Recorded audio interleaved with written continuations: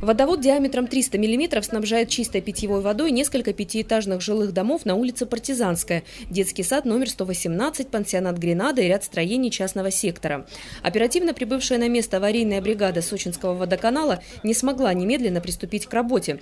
Мешали жилые гаражи, выстроенные вдоль склона оврага, по которому проходит водовод. Все осложняется тем, что мы не можем э, загнать туда технику, потому что э, задняя стенка, скажем так, гаража, она находится на склоне, и водопровод наш идет по, э, в грунте по части склона.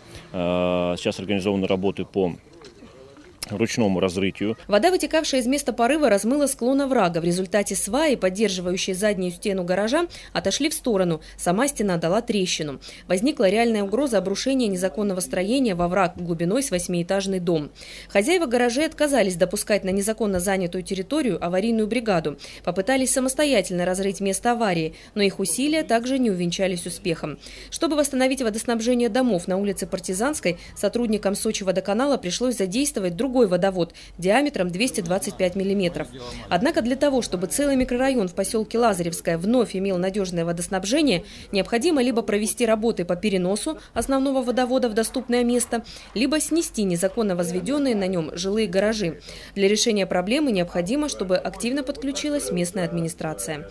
Галина Моисеева, Борис Осин, телекомпания ФКТ.